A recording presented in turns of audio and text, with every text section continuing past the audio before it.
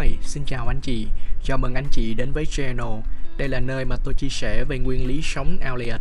Tôi là Shane, Master phân tích sóng Elliot được chứng nhận với chứng chỉ chuyên nghiệp CWA Master Designation tại tổ chức phân tích kỹ thuật độc lập lớn nhất hiện nay có trụ sở tại Hoa Kỳ, Elliott Way International.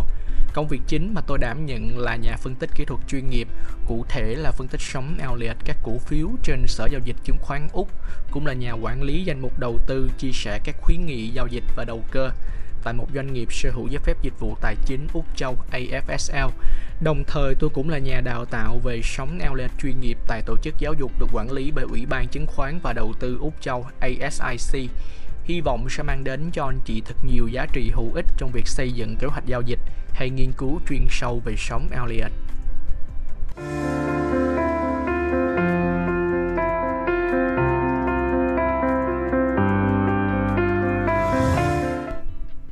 Xin chào mừng anh chị và các bạn đã quay trở lại với bài học về nguyên lý sống của chúng ta.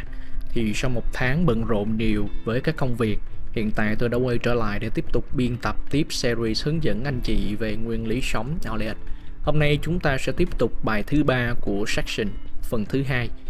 Bài học này chúng ta sẽ tìm hiểu và khám phá về một chu kỳ hoàn chỉnh và tại sao sóng Elliott lại có 5 sóng tăng giá và 3 sóng giảm giá. Nội dung bài học hôm nay được lấy ý tưởng từ việc trong lúc tôi giảng dạy về sóng Elliott cho các học viên người Úc thì tôi chợt nhận được một câu hỏi hay và nó trực tiếp liên quan đến nội dung bài học hôm nay chúng ta xây dựng. Vì vậy là tôi quyết định hướng dẫn cho anh chị khán thính giả chúng ta về phần kiến thức này. Và tôi tin rằng nó sẽ rất là vô cùng thú vị cho những anh chị nào đã từng suy nghĩ qua về câu hỏi này. Thì cái người hỏi tôi tạm dịch sang tiếng Việt cho anh chị dễ xem. Hey Shane, bạn có thể giải thích cho tôi tại sao sóng outlet lại phải có 5 sóng tăng và 3 sóng giảm hay không?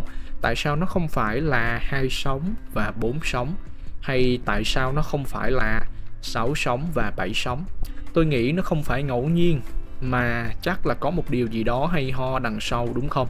Bạn có thể giải thích cái việc này cho tôi được không? Ok, thì bài học của chúng ta sẽ hướng dẫn cho anh chị về chu kỳ hoàn chỉnh. Chúng ta sẽ tìm hiểu xem tất cả những cái gì đó, những cái thành phần nào đó tạo ra một chu kỳ hoàn chỉnh. Và có một phần kiến thức mà nó hơi khó chút xíu, nó có tên gọi là compound contraction thì tôi không biết phải dịch ra chính xác cái tiếng Việt, cái nghĩa từ này như thế nào. Nhưng mà tôi nghĩ cái nội dung mà tôi chia sẻ cho anh chị thì anh chị có thể hiểu được cái khái niệm này.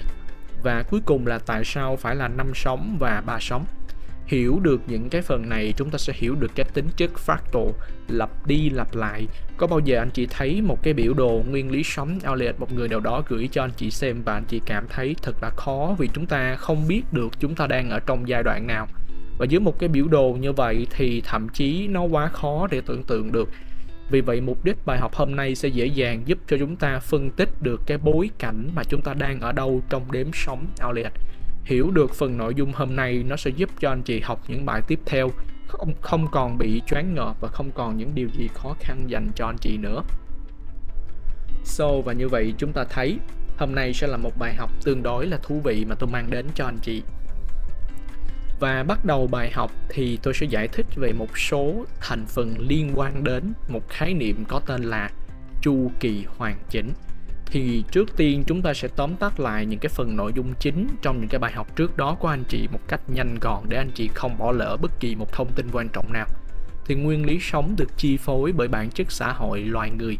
Bởi vì con người chúng ta có cái bản chất như vậy, cho nên nó thể hiện ra các hình thức mà các hình thức này nó lặp đi, lặp lại, cho nên chúng ta có thể có được cái giá trị tiên đoán trên cái việc này.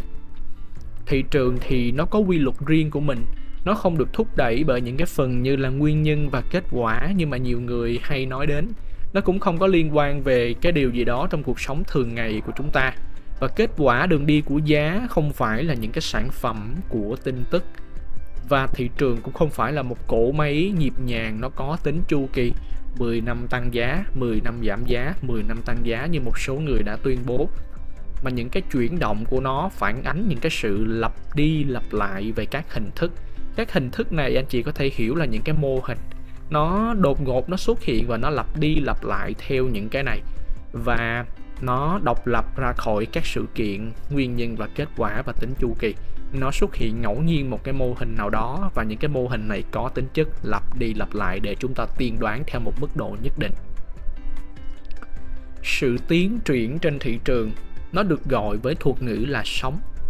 Như vậy, sóng là những cái mô hình nó có một cái hướng nha anh chị. Cái sóng này nó sẽ tác động đến cái hướng của thị trường là đẩy lên hoặc là đẩy xuống. Và cụ thể hơn, sóng là bất kỳ mô hình nào đó xảy ra một cách tự nhiên như vậy khi mà một cái mô hình nó xuất hiện nó có thể là một tính ngẫu nhiên nha anh chị. Nhưng mà khi mà cái mô hình đó nó xuất hiện ngẫu nhiên như vậy bởi vì nó được lặp đi lặp lại theo một cái hình thức nhất định cho nên chúng ta thấy được chúng ta có thể tiên đoán được cái mô hình đó nó có cái giá trị như thế nào. Um, để lấy ví dụ cụ thể thì khi mà anh chị thấy một cái ABC mô hình zigzag ngẫu nhiên anh chị cũng có thể bắt gặp một cái ABC một cái mô hình flat ngẫu nhiên vậy giá trị to lớn nó mang lại cho chúng ta là gì? Đó chính là biểu hiện của một cái sóng hiệu chỉnh đang mở ra. Vậy theo sau những cái sóng hiệu chỉnh này là gì? Trong những bài học trước đó, chính là một cái motive wave hay còn tạm dịch là sóng động lực hoặc là mô hình năm sóng sau đó. Như vậy cái giá trị chúng ta nhận được chính là cái bối cảnh trên thị trường mà chúng ta đang xem xét thì trong những cái thị trường tài chính như vậy cái tiến triển cái tiến trình cuối cùng mà nó đạt được nó sẽ được thể hiện ở dạng mô hình năm sóng five way pattern và ba trong số năm sóng này cụ thể là số 1, số 3 và số 5 nó thực sự nó tác động đến cái hướng của xu hướng đó nha anh chị. Ví dụ anh chị đang thấy 1, 2, 3, 4, 5 tăng giá thì số 1, số 3, số 5 là những cái sự đẩy giá lên. Nó tạo thành một cái hướng đi lên. Trong khi nó được ngăn cách bởi hai đợt điều chỉnh chống lại xu hướng đó được gắn nhãn là số 2 và số 4 và hai đợt điều chỉnh này là một điều kiện vô cùng cần thiết để toàn bộ chuyển động tuyến tính theo mô hình năm sóng theo một cái hướng nào đó xảy ra và chính Ornellet đã ghi nhận được ba khía cạnh nhất quán của cái mô hình năm sóng này là gì? Nó chỉ đơn giản là những cái quy tắc mà chúng ta hay bắt gặp thôi anh chị.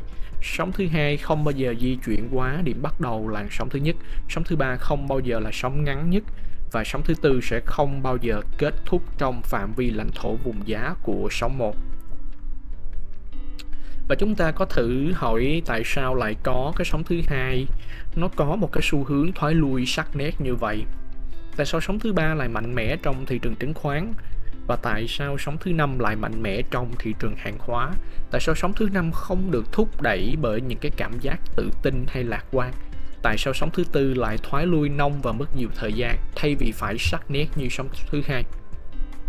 Hàng loạt những cái câu hỏi tại sao đã được tôi lý giải chi tiết cho toàn bộ cái section là cái phần đơn giản anh chị có thể xem ở bài học thứ bảy đến bài học thứ tư trong cái phần 1 dưới cái kiến thức được gọi là tâm lý học đại chúng, mass psychology. Và Owen Ellett khẳng định rằng không chỉ có một cái mô hình duy nhất là mô hình năm sóng nhưng mà rõ ràng điều này nó là đúng ở một bất kỳ một cái thời điểm nào đó. Chúng ta có thể được xác định là chúng ta đang ở đâu đó bên trong một five way pattern một mô hình năm sóng như vậy ở cái cấp độ xu hướng rất là lớn. Anh chị sẽ thấy rõ cái điều này trên thị trường chứng khoán Hoa Kỳ từ những năm 1800 năm 1900 thời điểm đó, nếu đặt chúng ta vào giai đoạn đó, chúng ta rất là khó để tưởng tượng được cái thị trường chứng khoán Hoa Kỳ nó sẽ phát triển mạnh như thế nào. Nhưng mà hiện tại thì chúng ta đang ở 2024 chúng ta xem lại đã là lịch sử thị trường chứng khoán Hoa Kỳ liên tục lập đỉnh. Chỉ số Dow Jones liên tục tăng lên cao hơn nhưng mà thử đặt mình vào cái bối cảnh nó thời điểm những năm 1800 năm 1900 thì chính xác là giống như chúng ta đang tưởng tượng được. Chúng ta đang ở đâu đó bên trong một cái mô hình năm sóng ở một cái cấp độ rất là lớn mà mắt thường không thể thấy được. Như vậy chúng ta đang ở đâu đó trong cái mô hình này? Vì mô hình năm sóng Fireway Pattern là một cái hình thức chủ đạo, nó tạo ra sự tiến triển theo một hướng trên thị trường. Cho nên tất cả những cái mô hình khác đều được bao hàm bên trong mô hình năm sóng. Và chúng ta có hai dạng để phát triển một cái sóng, sóng tăng hoặc là sóng giảm. Đó hai giai đoạn đó nó được gọi là sóng động lực hoặc là motive wave hoặc là sóng hiệu chỉnh corrective wave Sóng động lực thì có cấu trúc 5 sóng 1, 2, 3, 4, 5 Trong khi sóng hiệu chỉnh là nó có cấu trúc 3 sóng hoặc là những cái biến thể phức tạp, khó khăn, kéo dài của nó Cấu trúc được gọi là chữ động lực. Bởi vì thực sự nó đang thúc đẩy thị trường theo một cái hướng nào đó nha anh chị. Ví dụ như trên thị trường chứng khoán Hoa Kỳ, sóng động lực là một cái mô hình năm sóng tăng giá. Thì rõ ràng chữ động lực này cho chúng ta thấy được nó đang thúc đẩy thị trường tăng giá lên theo một cách nào đó. Những cái dạng hiệu chỉnh thì nó áp dụng cho những đợt kéo ngược, phản ứng lại, chống lại xu hướng đó, bao gồm sóng thứ hai và sóng thứ tư. Nó được gọi là hiệu chỉnh bởi vì rất đơn giản nó xuất hiện như một cái sự phản ứng, chống lại cái sóng động lực phía trước đó. Cái chức năng của nó chỉ thực hiện một phần thoái lui, hoặc gọi là hiệu chỉnh, so với những cái tiến trình hoặc là những cái sóng trước đó mà nó đạt được, chứ nó không phải là thoái lui hoàn toàn. Nó chỉ hiệu chỉnh hoặc là nó chỉ thoái lui một phần so với cái tiến trình trước đó. Đó là ý nghĩa của sóng hiệu chỉnh.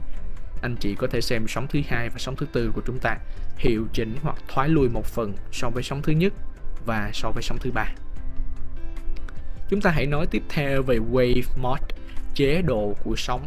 Chế độ của sóng có hai chế độ, một là chế độ Motive, hai là chế độ Corrective hoặc được hiểu là động lực và hiệu chỉnh. Nó chỉ mở mang thêm những cái thuật ngữ đi xa hơn một bước chứ ý tưởng là nó cũng như vậy nha anh chị. Và mời anh chị xem lại những cái phần bài học thứ tư cho đến thứ sáu ở cái section thứ nhất của chúng ta để không bỏ lỡ bất kỳ cái phần kiến thức quan trọng nào về mô hình năm sóng và mô hình ba sóng. Được rồi, tiếp theo thì anh chị đã hiểu được cơ bản về cái chế độ MODEF chính là mô hình 1, 2, 3, 4, 5. Chế độ Corrective chính là chế độ hiệu chỉnh đại diện cho chữ cái A, B, C. Như vậy rõ ràng nó có hai chế độ khác nhau về chức năng hoàn toàn. Và giờ đây chúng ta hãy tự tưởng tượng xem chuyện gì sẽ bắt đầu xảy ra sau khi mà hai giai đoạn này kết thúc. Hai giai đoạn ở đây là gì vậy anh chị? chính là giai đoạn Motive và giai đoạn Corrective. Hãy xem xét kỹ hơn khi mà cái hai giai đoạn này, động lực và hiệu chỉnh nó đã hoàn tất. Nó sẽ phát sinh cho chúng ta một cái khái niệm được gọi là chu kỳ hoàn chỉnh. Sau khi hai giai đoạn này kết thúc, nó sẽ tạo thành một cái tên gọi, một cái khái niệm mới biết đến là chu kỳ hoàn chỉnh. Vì một câu hỏi đặt ra dành cho anh chị khán thính giả một chu kỳ hoàn chỉnh bao gồm bao nhiêu sóng. Xin mời anh chị có thể là dừng lại cái video này khoảng 10 giây để anh chị suy nghĩ và trả lời nhẩm trong đầu thử xem. Đó là mô hình có bao nhiêu sóng. Và một chu kỳ hoàn chỉnh thì nó bao gồm 8 sóng anh chị đúng rồi. Nó được tạo thành hai giai đoạn riêng biệt. Hai giai đoạn chúng ta đã nói ở đây là gì anh chị? Giai đoạn động lực, hay còn gọi là MODEF hay còn gọi là mô hình năm sóng, được ký hiệu bằng những con số. Và giai đoạn thứ hai là giai đoạn hiệu chỉnh hoặc là corrective, hoặc là giai đoạn three ways mô hình ba sóng. Nó được ký hiệu bằng những chữ cái. Rõ ràng nó không khó. Chúng ta chỉ đang mổ xẻ những cái thông tin này xa hơn thêm một bước nữa. Giống như những đợt sóng thứ hai nó sẽ điều chỉnh cho sóng thứ nhất. Và một cái chuỗi A, B, C nó sẽ điều chỉnh cho toàn bộ chuỗi 1, 2, 3, 4, 5 Vậy sau khi một chu kỳ hoàn chỉnh bao gồm 8 sóng kết thúc lại thêm một khái niệm đi xa hơn xuất hiện mà nó đóng vai trò quan trọng để chúng ta có thể định hướng được việc phân tích của chúng ta compound contraction cái khái niệm này thì tôi không biết phải dịch như thế nào, nhưng ngụ ý nó sẽ là một cái chìa khóa cốt lõi để mở khóa cái kỹ năng phân tích của anh chị. Anh chị phải hiểu được ý nghĩa sâu sắc của nó để anh chị có thể dễ dàng phân biệt được những cái bối cảnh trên thị trường khi anh chị thực hiện công việc phân tích. Và tóm lại, khi một chu kỳ 8 sóng vừa kết thúc, một chu kỳ 8 sóng tương tự sẽ tiếp diễn. Và sau đó sẽ là một cái mô hình năm sóng xuất hiện tóm lại, một chu kỳ hoàn chỉnh, cộng cho một chu kỳ hoàn chỉnh, cộng cho một mô hình năm sóng sự phát triển này, nó sẽ tạo thành một cái mô hình năm sóng ở cấp độ lớn hơn so với các sóng đang nằm ở bên trong đó. Nó sẽ được biểu thị sau cùng với đỉnh số 5 chà, thoạt nghe thì nó rất là khó, phải không anh chị? Nhưng mà không sao. Mô hình năm sóng này sau khi nó xong, nó sẽ có một cái chuỗi A B C điều chỉnh cho cái chuỗi 1, 2, 3, 4, 5 lúc nãy. Quá khó đúng không? Nhưng không sao tôi có chuẩn bị cho anh chị những cái ví dụ rất đơn giản. Thoạt nhìn ban đầu chúng ta chỉ có một cái chu kỳ hoàn chỉnh như vậy thôi và chúng ta đang suy nghĩ ồ chuyện gì sẽ xảy ra nếu một chu kỳ hoàn chỉnh 8 sóng nó xong? Chuyện gì sẽ xảy ra sau đó? Thì lại có thêm một cái chu kỳ hoàn chỉnh 8 sóng khác xuất hiện. Hai cái này cộng lại với nhau và sau đó cộng cho một cái mô hình năm sóng nữa. Như vậy anh chị có thể tưởng tượng được nó đã hình thành bao nhiêu sóng không? Hãy xem cái hình đầu tiên anh chị có sóng 1, sóng 2 sau đó lại cộng thêm cho một chu kỳ hoàn chỉnh anh chị sẽ có sóng 3, sóng 4 sau đó cộng cho một mô hình năm sóng anh chị sẽ có sóng 5 nó hoàn thành 1, 2, 3, 4, 5 ở một cái cấp độ lớn hơn. Và cái đỉnh cao nhất anh chị vừa ghi nhận chính là số 5 nó sẽ biến thành cái hình như vậy một chu kỳ hoàn chỉnh cộng một chu kỳ hoàn chỉnh cộng một mô hình năm sóng 1, 2 cộng 3, 4 cộng 5 nó sẽ biến thành một cái five-way pattern, một mô hình năm sóng ở cấp độ lớn hơn. Và chuyện gì sẽ xảy ra khi mà một cái mô hình năm sóng này vừa mới kết thúc? Xin mời anh chị khán thính giả chúng ta có thể bình luận bên dưới phần comment ngay tại thời điểm này để chúng ta tạo một cái không khí sôi động cho việc học của chúng ta.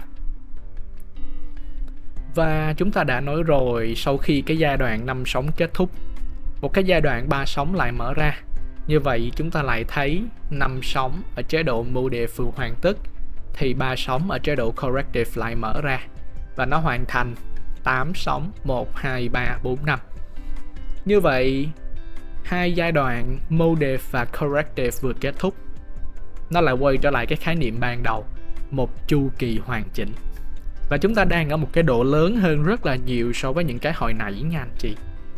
Và một lần nữa chuyện gì xảy ra sau khi một chu kỳ hoàn chỉnh này kết thúc? Chúng ta lại lặp lại công thức đó. Một chu kỳ hoàn chỉnh cộng một chu kỳ hoàn chỉnh cộng một five-way pattern. Chúng ta lại có một cái five-way pattern, mô hình năm sóng ở một cái cấp độ lớn hơn nhiều so với ban đầu nữa. Thì thoạt nhìn bắt đầu nó sẽ chi tiết ra như vậy. Anh chị thấy cái hình không? Nó đã bắt đầu nhiều lên so với lúc này. Như vậy, ý nghĩa của compound contraction là như vậy. Nó liên tục tạo thành một cái phiên bản lớn hơn lớn hơn lớn hơn của chính bản thân nó. Cho đến một cái giai đoạn nó hình thành cái quan điểm này, nó hình thành cái hình như vậy. Thoạt nhìn ban đầu, nó vô cùng khó để phân biệt và hiểu được cái hình ảnh này hoạt động như thế nào.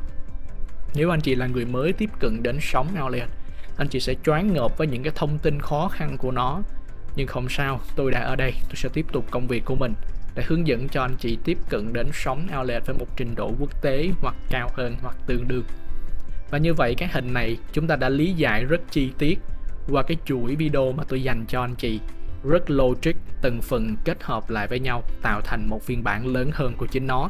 Và giờ đây khi anh chị xem thấy những cái phân tích của tôi hay là của một nhà phân tích chuyên nghiệp nào đó anh chị thấy những số 1, 2, 3, 4, 5 này anh chị sẽ biết được ồ chúng ta đang ở đâu? Chúng ta đang ở giai đoạn nào? Chúng ta có thể là số 3 trong dấu ngoặc của số 1 khoanh tròn chẳng hạn. Chúng ta cũng có thể là số 3 trong dấu ngoặc của số 5 khoanh tròn chẳng hạn chúng ta biết được chúng ta đang ở đâu và nó không hề khó khăn với chúng ta với công thức một chu kỳ hoàn chỉnh và hiểu được hai chế độ motive và corrective, anh chị lồng ghép lại, anh chị sẽ tạo thành một phiên bản hoàn hảo cho bối cảnh sống, Elliot và chúng ta sẽ nói một chút xíu về một khái niệm đi xa hơn nữa, đó là tại sao phải là 5 và tại sao phải là 3. Tại sao? Nó dẫn nhập chúng ta đến một phần kiến thức mới được gọi là dao động tối thiểu fluctuation và dao động tối ưu. Chính Ornell chưa bao giờ suy đoán tại sao những cái hình thức cơ bản trên thị trường nó lại là năm sóng tiến triển và lại là ba sóng thoái lui. Rất đơn giản ông nhận thấy đó là những gì đang thực sự xảy ra trên thị trường và liệu những cái hình thức này có nhất thiết phải là số 5 và số 3 hay không? Có thể đúng, có thể sai. Nhưng làm việc với cương vị chúng ta đang học những cái kiến thức nó rất hay ho và nó mang tính logic để suy luận. Cho nên nếu mà suy nghĩ kỹ thì anh chị sẽ nhận ra đây là một cái yêu cầu tối thiểu để cái phương pháp của anh chị đạt được hiệu quả cao nhất. Và nó đạt được một cái sự dao động, nó đạt được một cái sự tiến triển trong một cái chuyển động theo à, một cái đường tuyến tính um, nói như vậy thì khái niệm nó khó lắm nhưng mà không sao tôi có chuẩn bị cho anh chị những cái ví dụ hãy tưởng tượng xem, nếu anh chị chỉ có một sóng trên thị trường, nó không tạo ra bất kỳ sự dao động nào. Nó chỉ phản ánh lên bản thân của nó là đang tăng. Nếu anh chỉ có một sóng giảm, nó không nói lên đây là một cái tiến triển giảm, nó chỉ nói lên bản thân nó là giảm. Cái số lượng nhỏ nhất để anh chị tạo ra một cái dao động dao động là fluctuation, là một cái gì đó, nó nó di chuyển theo một cái hướng nào đó. Nó tạo ra một cái sự dao động nhất định thì nó phải là ba sóng. Không có bất kể à, không có kể đến những cái kích thước của nó bất kể là kích thước gì cũng được theo cả hai hướng. Nếu mà anh chị chỉ thấy cái sự dao động này nó là ba sóng. Vậy ba sóng vừa tăng ba sóng sau đó lại giảm. Vậy hướng của thị trường là gì? Chà chúng ta không có hướng anh chị. Thị trường nó vẫn đứng yên tại chỗ nhưng mà chúng ta biết được ba sóng này nó đã tạo ra sự dao động. Ba sóng tăng giá nó tạo ra sự dao động tăng ba sóng giảm giá tạo ra sự dao động giảm. Và ba sóng bản thân nó chỉ là một sự dao động tối thiểu nó không tạo ra tiến triển. À, tiến triển ở đây một chút nữa anh chị sẽ hiểu. Để một cái xu hướng của anh chị tiến triển theo một cái hướng tăng hoặc là một cái hướng giảm nào đó bất chấp những cái giai đoạn của những cái đợt thoái lui kéo ngược xuống thì cái chuyển động đó tối thiểu phải có là năm sóng. Và để đơn giản hơn để một cái xu hướng của anh chị phát triển xa hơn nó phải là con số 5 thậm chí nó có thể là có nhiều sóng hơn nữa, nhưng mà cái tiến trình hiệu quả nhất và đơn giản nhất mà nó có thể đạt được phải là số 5 và số 3 và chúng ta hãy cùng lý giải tại sao. Một sóng không tạo ra sự dao động. Nói cách khác, nó không thể hiện cái gì ở đây ngoại trừ phản ánh lên hướng của nó là đang tăng hay đang giảm. Và hai sóng ở đây nó cũng không tạo ra bất kỳ sự dao động về một hướng nào. Nó chỉ đang nói là ở đây tăng lên xong rồi giảm xuống nó chẳng nói lên việc gì hết. Nó không có ý nghĩa cụ thể gì. Nhưng mà giả sử chúng ta đang thấy ba sóng, lúc này chúng ta đã xác định được cái dao động đó là tăng hay cái dao động đó là giảm. Và nó tạo ra một cái chuyển động tuyến tính.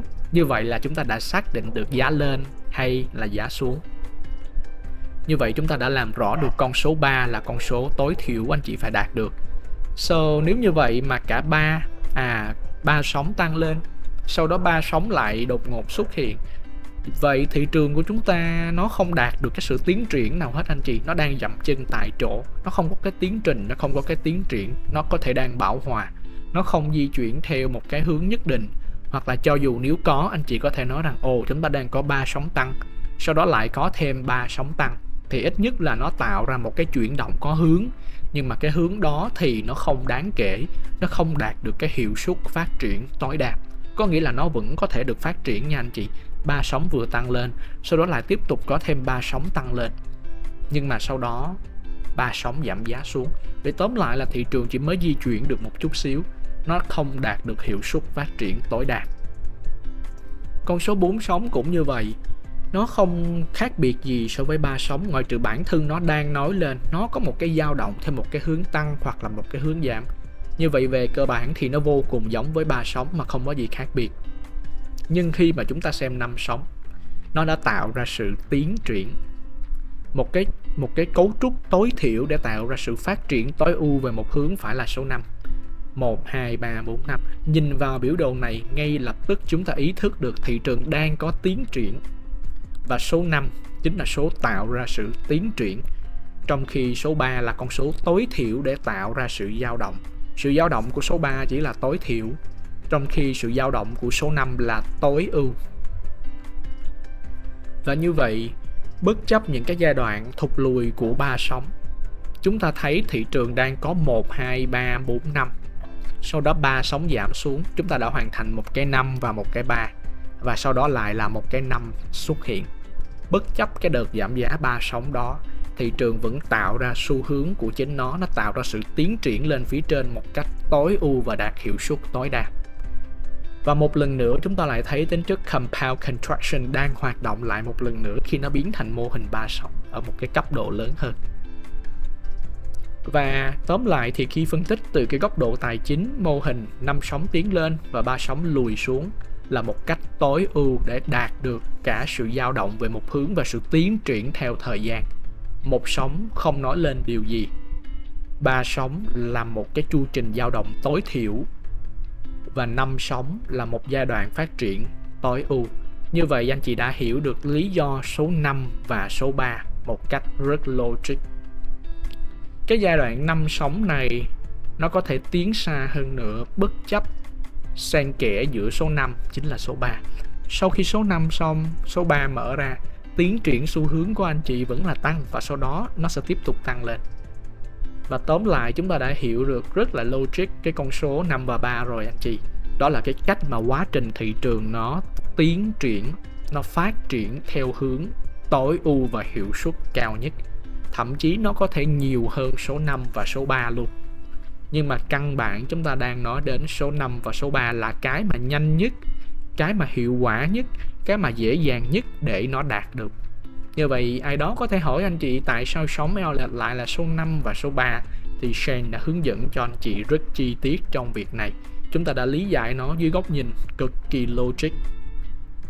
Và như vậy là bài học hôm nay của chúng ta đã đi đến hồi kết. Những tri thức mà tôi chia sẻ với anh chị nó giống như những cái mảnh ghép nhỏ, từng mảnh từng mảnh trong một cái bộ đồ chơi xếp hình. Thoạt nhìn ban đầu học qua nó sẽ hơi khó hiểu cho chúng ta. Um, có một cái ví dụ mà tôi hay hướng dẫn cho những học viên người Úc. Đó là tôi nói khi mà một chàng họa sĩ bắt đầu phát họa một cái bức tranh một vài nét vẽ đầu tiên những người học viên xung quanh nhìn vào sẽ không hiểu được ông ấy đang làm gì. Thậm chí là vẽ được 30% bức tranh. Cái bối cảnh của bức tranh đó chúng ta vẫn chưa biết nó là cái gì nhưng mà chỉ khi đến con số 70%, 80% của bức tranh lúc đó nó chưa hoàn thành bức tranh nữa nhưng mà anh chị đã ý thức được cái bối cảnh bức tranh mà người họa sĩ đó vẽ là cái gì. Thì từng cái phần kiến thức mà tôi chia sẻ cho anh chị nó cũng như vậy. Những cái mảnh ghép nhỏ lồng vào nhau, tạo nên cái sự logic xuyên suốt trong quá trình học của anh chị. Từng giai đoạn trước kết hợp với những giai đoạn sau, tạo thành một cái giai đoạn mới tiếp theo. Và hy vọng những chia sẻ này mang đến cho anh chị khán thính giả chúng ta thật nhiều giá trị. Và nếu anh chị cảm thấy hay, xin đừng ngần ngại để lại cho tôi một nút thích và một đăng ký kênh, cũng như chia sẻ những cái kênh youtube này đến với cộng đồng nhà phân tích sóng neo lệch tại Việt Nam. Để Việt Nam có thể tiếp tục phát triển lên cao hơn và cạnh tranh với một cường quốc CWA à, tạm dịch là nhà phân tích sóng outlet chuyên nghiệp. Ở kế bên chúng ta đó là Thái Lan. Họ rất mạnh trong lĩnh vực này họ cạnh tranh rất là khốc liệt trên quốc tế và tôi cũng muốn Việt Nam chúng ta có thể cạnh tranh ngang bằng với họ. Và tóm tắt bài học hôm nay của chúng ta chúng ta nói về một chu kỳ hoàn chỉnh, chúng ta nói về tất cả những cái thành phần nào tạo nên một chu kỳ hoàn chỉnh. Và chúng ta nói về tại sao là năm sóng và tại sao là ba sóng và nói về tính chất compound contraction. Hiểu được tất cả những việc này, anh chị sẽ hiểu được cái chữ factor lặp đi lặp lại từ cái nhỏ nhất biến thành cái lớn nhất. Nó giống như là những cái phiên bản xếp hình anh chị xếp vào thì nó sẽ biến thành cái lớn hơn. Và điều này sẽ mở khóa cho anh chị cái việc phân tích bối cảnh anh chị xem vào một cái phân tích của một nhà phân tích chuyên nghiệp, anh chị sẽ biết được chúng ta đang ở đâu trong đó mà không còn bị khó khăn nữa. Và khi mà đã lĩnh hội được bối cảnh rồi, những bài học tiếp theo của chúng ta sẽ có độ khó cao hơn. Chúng ta sẽ nói về những khía cạnh chuyên môn nhiều hơn.